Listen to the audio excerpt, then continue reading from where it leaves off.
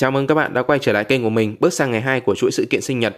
Hôm qua thì có một bạn nhắc mình là đến ngày 17 tháng 8 sẽ là cái sự kiện đấu giá S cộng mới Shiny Megagade kèm theo mèo thần tài, còn kèm theo cả vòng quay kim cương nạp nữa. Ờ, mặc dù là hôm qua thì mình đã nạp 500k để lấy ờ, 100 lần ở trong lượt may mắn này rồi nhưng mà mình sẽ bắt đầu dừng lại đến đến ngày 17 tháng 8 mình bắt đầu mới nạp tiếp. Ờ, như các bạn thấy là đang còn 8 ngày nữa mới hết à, hôm nay là ngày 11 8 11 là khoảng đến tầm 19 20 thì cái sự kiện này mới kết thúc. Lúc đó nó cũng vẫn trùng với cả cái sự kiện đấu giá luôn. Thế nên bạn nạp lúc ngày 17 tháng 8 uh, ờ, đấu giá S cộng Shiny Mega đây bạn vừa có cái số lượt ở trong lần may mắn này, vừa có số lượt quay vòng quay kim cương nạp thì bạn sẽ được rất là nhiều đồ cho nên mình cũng ém lại.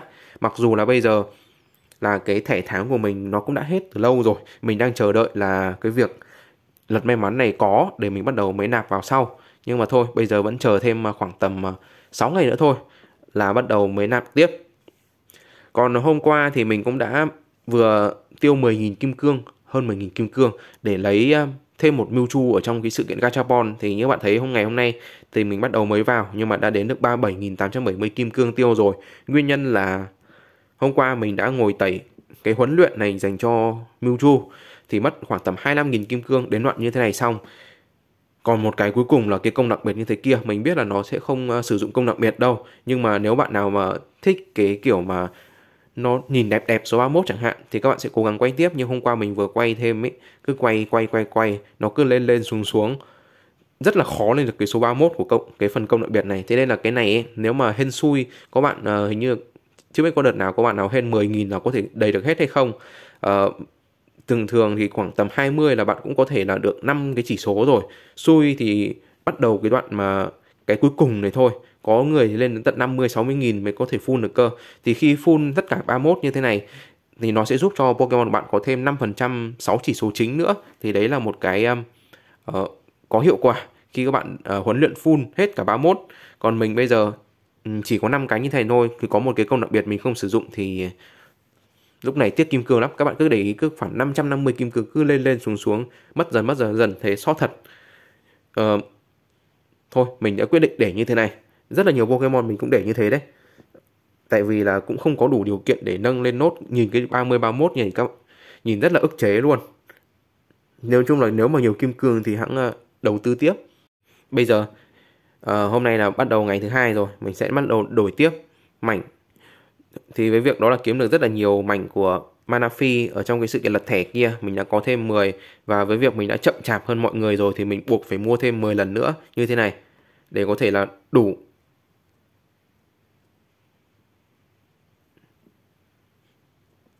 Vậy là hai ngày mình đã được đến 50 cái rồi. Hai ngày nữa thôi là mình sẽ đủ 100 Còn phần này thì hôm trước mình đã quay lấy 20 Miozin Mục đích là để làm phôi dành cho Mewtwo rồi. Vị quả đó là nâng Z mu của một con ờ, con nào ấy. Xong rồi mình lấy luôn béng mất 240 mảnh của Masadao mục đích là mình để sử dụng ở trong cái phần này rồi. Đây ừ, hai ngày nữa thôi là sẽ mở Mega Muchu thì mình sẽ bắt đầu có được Mega Muchu X. Còn trước khi đi đến với việc nhận xét về Mega Muchu X với cả ừ, team giác đấu của anh ấy thì ờ, mình cũng muốn ờ, chơi lại một lần về cái trận chiến không tưởng này. Ờ, thực ra hôm qua thì mình cũng đã để cái phần uh, hướng dẫn đi 10 ải này ở phần bình luận um, cái clip uh, sinh nhật rồi. Nhưng mà với ải 3 này nhìn cũng rất là thú vị mình muốn chơi lại đó là bạn sẽ phải vượt qua. Thì đây là một đội hình mình thích sử dụng để vượt qua cái ảnh như thế này bởi vì con Dragon Knight là một con mà có khả năng tấn công rất là tốt. Cho nên mình sẽ à, đi qua cái ảnh này trước đã. Một con không thể thiếu đó là con uh, Eslat này rồi nó sẽ xông ra toàn đỡ hộ thôi. Còn với việc cái con um, Gyarados này là một con uh, có cái đam rất là to. Về cú đấm sấm sét này thì sẽ làm cho nó không thể hồi nộ này và tê liệt luôn. Thì lúc đó những Pokemon của mình sẽ tấn công nó đập chết nó luôn. Thì bạn đã bớt đi được một đối thủ quan trọng rồi.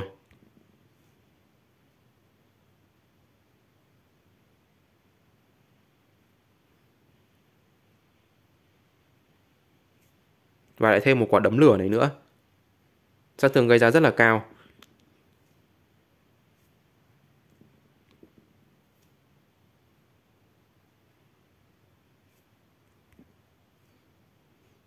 Thì đây là một ải mình thấy là cũng hay và cũng ờ, hấp dẫn với mình sau khi mà mỗi lần cứ đi qua những cái ải như thế này.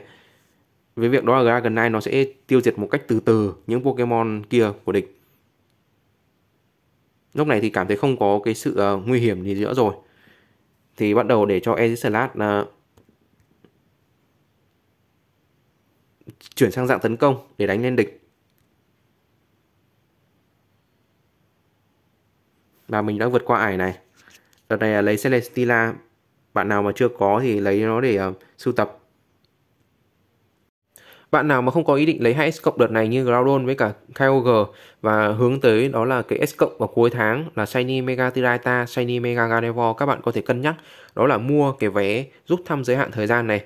Với mỗi một vé là 260 đồng 10 vé sẽ là 2.600 thì các bạn sẽ bị tốn hơn 120 đồng ở trong cái quay trực tiếp như thế này. Tuy nhiên à, khi các bạn um, mua trong này xong ví dụ như 8 lần đi là 20.800 các bạn sẽ hoàn thành được cái sự kiện đó là tiêu kim cương được hoàn kim cương các bạn sẽ lấy lại được đó là 2080 thì như thế nó cũng sẽ rẻ hơn và các bạn có thể tiêu uh, để có thể lấy được uh, mảnh của song leo trong đó luôn chẳng hạn hay là một số món quà khác. Thì các bạn nên cân nhắc nếu mà đang có ý định đó là lấy uh, S cộng ở cuối tháng này thì đây là một cái phương pháp um, rẻ hơn. Quay trở lại với chủ đề Mega Mewtwo X uh, với việc S cộng xuất hiện thì chưa chắc đội hình nó sẽ có cái sự lung lay nhưng mà SS thì khác đợt này thì đó là Mega Mewtwo với cả cái team giác đấu. À, bạn có thể kết hợp giác đấu với cả nước, siêu hay là ma. Mỗi cái ờ, Pokemon của hệ đó kết hợp với cả giác đấu của Mega Mewtwo nó sẽ đem lại những cái hiệu quả khác nhau mà mình đã từng phân tích ở trong một cái clip định hướng đội hình rồi. Thì đợt này mình đang có đi theo hướng ờ, ma, định kết hợp với cả Mega Mewtwo nhưng mà dần dần Giatina của mình nó cũng không có đạt hiệu quả. Thì mình kết hợp, chủ yếu bây giờ là sẽ đi theo hướng siêu giác đấu của Mega Mewtwo là chính à, với Mega motric này thì mình à, muốn dồn hết tất cả những cái sức mạnh của trong cái team của mình vào cho nó để cho nó gánh team. Đương nhiên là mình cũng sẽ nâng nó lên 12 sao rồi. À, hiện tại bây giờ trong cái server của mình đây thì cũng đã có người đã lên được uh, 11 12 sao ở trong uh, phần uh, xếp hạng như thế này để mình có thể thấy rõ hơn. Hiện tại mình đang có một con Mewtwo đứng thứ 6 thì với Mega Moonchuik này đây là một con S mà có cái sức tấn công rất là cao rồi. Bạn có thể kết hợp nó với cả nhiều đội hình khác cũng được. À, rồi như tiết đá kẹp vào nó vào. Bởi vì là đến cái lúc mà nó nhận một cái sát thương chí tử thì nó vẫn có thể lôi một địch vào trong cái đấu trường của nó xong rồi đập. Thì có thể là đồng quy vô tận cả hai bên cùng chết luôn. Còn bình thường nếu mà để nó ra đòn tuyệt kỹ với cả những Pokemon cũ của bạn trừ ra một số con như là con Mioizin hay là con uh, ra magenta thì nó có khả năng phòng ngự chắc chắn hơn thì hầu như một số Pokemon còn lại bị nó lôi vào. Mà nếu bạn uh, nuôi Mega một chuỗi mạnh thì cũng sẽ là một hai đấm là nó sẽ chết bởi vì qua được đoạn kháng tử xong là đập một phát nữa là chết luôn. Thì cái sức mạnh của Mega Mojuic với cả sát thương của nó gây ra uh, nó sẽ bá đạo ở thời điểm này. Mewtwo một S cộng mạnh xuất hiện khi mà game mới bắt đầu. Uh, một S cộng uh, được yêu thích sử dụng bởi những người chơi VIP 12 đổ lên ở trong những cái hành trình đua top những ngày đầu tiên. Thì hồi đó chỉ có những bậc S thôi S cộng thì chưa có mấy đâu. Lúc đấy thì có những người chơi nạp một phát lấy Mewtwo xong rồi là đua top 7 ngày lấy Ho-Oh. Thì hai S cộng đấy nó đã làm đến cái sự khác biệt rất là nhiều với cả những người chơi đang sử dụng bậc S rồi. Thì dần dần khi có những S cộng mới hơn thì Mewtwo lại bắt đầu bị yếu đi và mất hút. Nhưng đến thời điểm này khi mà cái uh, tiến hóa Mega giúp cho Mewtwo trở lại với cái dạng Mega Mewtwo X. Và 6 tháng sau là Mega Mewtwo Y. Thì uh, đây là thời kỳ của em nó uh, bắt đầu được thể hiện lại cái sức mạnh rồi. Và mình rất là khoái cái hình dạng của Mega Mewtwo X này hay là cả Mewtwo nữa. Bởi vì nó ngầu từ trong chuyện cho đến uh, hình ảnh ở trong game nhất là những cú đấm lực lưỡng của Mega Mewtwo X này chính ra nếu mà so với hình ảnh ở trong game thế này với Mega Mewtwo X với Y thì mình thích cái hình ảnh của Mega Mewtwo X hơn. Thì mình cũng đã có một cái um, series uh, giới thiệu về ES mới Mega Mojo X. Trong đó thì mình đã đang làm đến 4 phần. Thì mình tính là mình sẽ làm 5 phần cơ. Nhưng mà thôi đang gộp lại với cả trong cái clip này luôn. Thì ở phần 4 mình đã gợi ý về hướng build đá bùa tính cách bảo vật chip phù hợp à, bạn có thể tham khảo. Ngoài ra thì ờ, nếu bạn mà cảm thấy Mega Mojo X mà có cái hướng build tốt hơn thì bạn à, có thể sử dụng hướng đó bởi vì là có rất là nhiều cái hướng build ấy. Uh, nó sẽ có thể phù hợp ở trong tình huống như thế này nhưng mà lại trong nhiều tình huống khác nó lại uh, uh, không bằng chẳng hạn. Thì với Mega Mochuik này đây là một S cộng mà mình sẽ dồn vào cái sức tấn công của nó rất là nhiều và đương nhiên là mình cũng sẽ nâng nó lên 12 sao rồi. Bởi vì bây giờ hai cái team mà có Mega Mojo X đội nhau con nào mạnh hơn? Uh, cùng lôi, lôi nhau vào cái trong cái đấu trường Sura của nó thì việc đập chết được con Mega Mojuic bên kia cũng sẽ là một cái lợi thế. Cái đấy nó sẽ liên quan đến việc cái sát thương bạn gây ra. Thì hôm trước mình đã uh, gợi ý hướng build về cái bảo vật vàng ấy. Thì bảo vật vàng thực ra bây giờ có thêm cả đỏ nữa rồi. Nhưng mà nếu mà nói về bảo vật vàng thì thanh kiếm bất tử hay là món đồ lưỡi kiếm gai đỏ thắm này mỗi cái nó sẽ có một cái lợi thế khác nhau. Việc ví dụ bây giờ bạn đang sử dụng cái thanh kiếm bất tử bạn đọ với cả một con uh, Mega Mocho X mà có cái lưỡi kiếm gai đỏ thắm thì đương nhiên là cái lưỡi kiếm gai đỏ thắm này cái sát thương nó sẽ không bằng được cái kiếm bất tử rồi. Và bạn có nguy cơ là bạn sẽ bị uh, đập chết bởi con uh, Mega Mocho X bên kia. Tuy nhiên là cái lưỡi kiếm gai đỏ thắm này thì nó sẽ có lợi khi mà bạn uh, đi cùng với cả team hơn. Bởi vì uh, cái này nó sẽ giúp cho Mega Mocho X ấy là nộ cực kỳ là nhanh, uh, hành động rất là nhiều thì nó sẽ có lợi thế hơn ở cái khoản ờ, hiệu ứng hành động nhiều. Còn cái này là liên quan đến việc sát thương gây ra nó sẽ mạnh hơn. Mỗi cái nó sẽ có một cái hiệu quả riêng mà cái đấy cũng phải tùy thuộc vào bạn sử dụng thôi. Nhưng mà nếu bạn nuôi mạnh sẵn rồi thì cái lưỡi kiếm gai đỏ thắm uh, cũng là một cái món đồ mà ưu tiên sử dụng dành cho mil chủ ích hơn.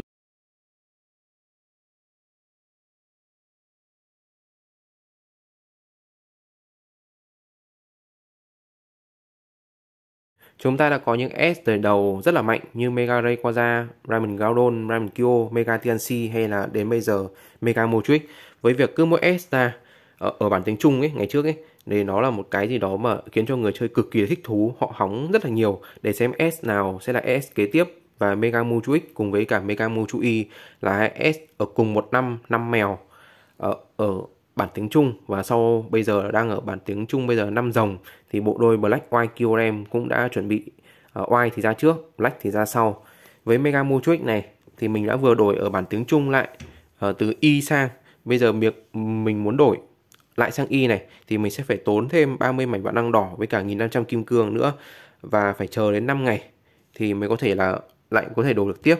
Cho nên là hoán đổi một cách rất là linh hoạt với Mega Mewtwo đây. Đây là một S mà cũng tương tự như những S cũ. Uh, nó mạnh sẵn rồi ấy. Ờ, như bạn cứ lắp vào team là bạn cũng sẽ thấy nó thể hiện được tốt. Nhưng mà nếu mà muốn nó thể hiện được tốt hơn nữa thì sẽ có những đồng đội khác đi để bổ trợ. Ví dụ như Mega Rayquaza hồi trước nó cũng đang mạnh sẵn này. Xong rồi nếu bạn kết hợp thêm Celebi kết hợp thêm cái cả Eventual thêm thì nó cũng sẽ có những nhiều hiệu quả tốt hơn. Hay là với cá chẳng hạn. Cá hồi trước thì với việc bạn đang kết hợp một con um, có một con cá không hay là một con cá kết hợp với cả tim nước thì nó cũng là một cái sự khác biệt. Hay là Grime Gaudon chẳng hạn uh, bình thường nó mạnh này bạn có thêm Victini nữa thì lại càng mạnh hơn. Và đến Mega TNC nếu bây giờ bạn cho nó đi một mình không phải cái team tiết đá với cả Shiny Mega Tiraita thì nó vẫn sẽ tốt này. Nhưng mà tỷ lệ bị tử trận hay là không có nhiều hiệu hiệu quả cho tim thì nó các bạn cũng sẽ thấy rõ rệt hơn. Thì Mega Muchuik này cũng tương tự như vậy thôi. À, bắt đầu một thời kỳ mới của cái team giác đấu thì bạn cũng sẽ cần phải là hẳn cả một cái team giác đấu. Thì lúc đó bạn mới thấy được cái sức mạnh thật sự của Mega Muchuik này. À, với Mega Muchuik đây thì à, lúc này mình sẽ kết hợp với cả cái team à, chưa có cái giác đấu nhiều. Giác đấu này thì bạn nếu bạn có sẵn ra magenta thì là một cái sự tuyệt vời để giúp cho Mega Muchuik này nó sẽ gọi là an toàn hơn và kèm theo cả Mew Origin nữa. Đó là hai Pokemon mà mình thấy là cần thiết nhất dành cho Mega Mewtwo X còn uh, khi bạn đã có đủ đội hình giác đấu rồi như Shiny Mega De xong rồi kèm theo cả Kendall xuất hiện sau nữa thì bạn sẽ càng cảm thấy đó là Mega Mewtwo X nó sẽ uh, tuyệt vời hơn. Thì với cái team giác đấu của Mega Mewtwo X lúc này đang có thêm ra Magenta thì cứ dần dần có những S cộng của cái team giác đấu xuất hiện thì cái ờ, Mega Motric này các bạn sẽ thấy được thể hiện cực kỳ là nhiều. Bạn đang có ra magenta sẵn nhá. Xong rồi là bây giờ bạn đang có thêm nữa là Mew Origin mục đích là để bổ trợ cái kháng tử dành cho Mega Motric này. Bạn lấy thêm được Shiny Mega Gade thì lại giúp cho Mega Motric được uh, tấn công một cách nhiều lần hơn. Xong rồi có thêm uh, Kendall nữa. Kendall thì lại giúp cho Mega Motric đánh được skill 1 có khi được 2 đến 3 lần thì dần dần cứ đội hình như vậy à, bạn có thể kết hợp thêm với cả giờ anh có người chơi sử dụng Necroma ấy, mục đích là để uh, bắn ké cùng nhiều cùng với cả đấu trường Sura của Mega Mudrick này. Thì như các bạn thấy nhá là với đội hình của team giác đấu hay là của những đội hình khác các bạn ờ, để ý là của Askenza, Raimon Kyo chẳng hạn thì những con đó nó hoàn toàn có khả năng sức tấn công không phải một mình S Raimon Kyo thì đến lượt Mega Mutrick này thì uh, những đồng đội của nó là những con mà kiểu dạng như là không có cái sức tấn công uh, quá nổi bật để có thể làm nguy hiểm cho cái team à, sắc đẹp ở thời điểm hiện tại bây giờ. Cho nên là với việc nó là Mega Modric là các bạn sẽ cần phải nuôi cực kỳ tốt và bổ trợ cho nó thật nhiều. Thì nó mới là con gánh team. Vậy bạn nào bây giờ hỏi là cái team giác đấu không có Mega Modric được không? Thì vẫn có thể sử dụng được nhưng mà Mega Modric nó chiếm đến tận 50% sức mạnh rồi. Mình vẫn hay ví như vậy vì bây giờ các bạn sẽ, ví dụ là đội hình giác đấu mà nó không có con Mega Modric thì các bạn sẽ đập đội hình team tiết đá cực kỳ là khó luôn. Bởi vì là Mega Modric mới là con có thể gây sát thương cao để đập được một vài con như thế. Ngay cả khi các bạn có Kendall S cộng mới, xong rồi kết hợp thêm với cả Shiny Mega Gardevoir lấy thêm một sự sát thương, nhưng mà hai bộ Shiny Mega Gardevoir chủ yếu đi vì team sắc đẹp thì thể hiện được nó sẽ nhiều hơn thôi thiếu một con à, thiếu những con mà có khả năng gây ra sát thương tốt dành cho cái bên team bên kia thì coi như là cái team giác đấu nó cũng sẽ coi như là không hình thành được rồi. Và đến thời điểm đó thì à, hồi trước thì mình bảo nếu bạn chơi như thế này thì bạn có thể cho thêm Zacian vào thì Zacian nó cũng sẽ có cái hiệu quả tốt hơn bởi vì nó một con đam tốt khi đi cục cùng với cả những cái à, Pokemon giác đấu hay là à, sắc đẹp. À không phải tiên. Thì trong này thì có một tiên này ra magenta này, xong rồi kiếm vũ này, thì nó cũng sẽ có thể tối ưu được nếu bạn mà không có Mega Motrix ở cái team giác đấu đó. Nhưng nói thế thôi, team giác đấu này bây giờ nếu bạn mà sử sử dụng như thế này thì nó sẽ là con chủ chốt rồi. Chết là coi như là cái team giác đấu cũng coi như là cũng sẽ bị thua trước những cái team khác. Cho nên là về cái team giác đấu này nó không, nó cũng hơi bất ổn hơn so với cả cái team sắc đẹp sắc đẹp thì kiểu dạng như là có rất là nhiều Pokemon đều có khả năng gây ra lượng lượng sát thương lớn. Magena các bạn trông thế thôi nhưng mà khi đặt bẫy xong rồi kèm theo cả Shiny Mega Gardevoir nữa đam cũng kinh khủng khiếp phết. Ở team sắc đẹp này thì à, hay là team đất đá này thì những Pokemon này đều có thể gây ra lượng sát thương à, làm cho bên địch bị uh, nguy hiểm. Đến thời gian Seian thì nó còn xịn hơn nữa. Trừ có khi là có mỗi um, Sonia thì hơi ờ, kém hơn về sát thương thôi, nhưng mà những Pokemon kia đều có khả năng là gây được một lượng tam ổn. Còn với giác đấu thì mình nhận xét như vậy rồi là dựa vào Mega Motric tấn công là chính, thiếu nó là coi như cái team giác đấu cũng sẽ mất đi hiệu quả nhiều. Và lúc đó thì nếu bạn mà thích team giác đấu thì nó không có hiệu quả đâu, Mega Motric mới gọi con quan trọng. Rất là nhiều Pokemon đi theo, nhưng mà chỉ là để bổ trợ chứ không phải là để tấn công nhiều. Có con Kendall này các bạn lên được 11 sao đam ảo. Nhưng mà cũng chưa đủ để có thể là đập được một cái team uh, tiết đá sắc đẹp mà nuôi theo kiểu mà ngang cơ với bạn. Nó cùng lắm là thêm một lượng đam nữa dành cho Mega Matrix hoặc là giúp uh, có thể bổ được mấy cái núi đá. Giả sử bên kia Shiny Mega Tirata đánh lại thì mình đang có định hướng là mình cũng sẽ cố mình sẽ kết thúc cái clip mà tán gẫu này ngày chủ nhật ở đây. Để mình lấy thêm với đợt này đang rất là nhiều cái sự kiện với cả mega mua thêm sẽ là đỏ này nhưng mà trong tình huống bên nhiều sự kiện sử dụng mega để lấy được S cộng luôn. thì uh, Necroma nó lại nguy hiểm lôi vào trong đấu trường đấy một phát chết luôn. Nhưng mà đấu với cả những cái team sắc đẹp thì nó cũng sẽ có lợi. Về thời điểm này thì uh, sau khi xuất hiện uh, mega mua trụi đây thì đây là sẽ là đội hình mình sẽ thử sử dụng với việc là có Luala đi theo để bổ trợ uh, cái sát thương với giảm thương dành cho Mega với cả Necroma. Thực ra với vị trí của Luala mình hoàn toàn có thể thay thế vị trí khác như vậy như là Raven Kyo hay là kèm theo nữa là mình có thể sử dụng Shiny Mega Gardevoir chẳng hạn. Thì đó là một cái vị trí uh, linh hoạt để mình có thể test trong nhiều trận đấu trong thời gian sắp tới.